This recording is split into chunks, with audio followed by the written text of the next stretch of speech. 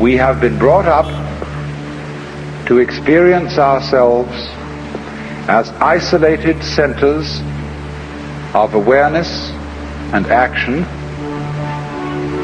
placed in a world that is not us, that is foreign, alien, other, which we confront. You see, you, might be a fatalist if you think that you are a sort of puppet which life pushes around. You are separate from life, but life dominates you. We kick the world around in revenge for feeling that really we are puppets which the world kicks around.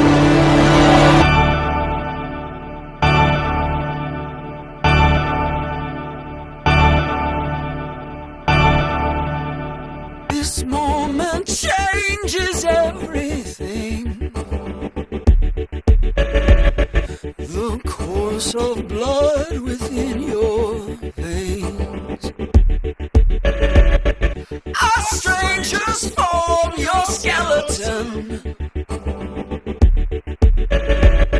See the bones glow as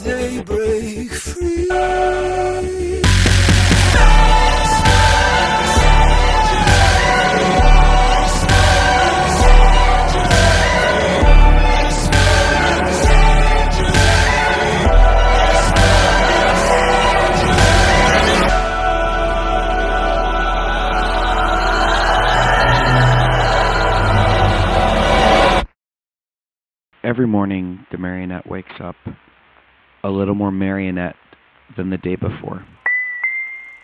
Upon every request that a bleeding heart implores, the marionette finds yarn and sailor's knots a couple more. But then a dream floats in, a ship in the night, of an unstrung voyage, of an untethered life.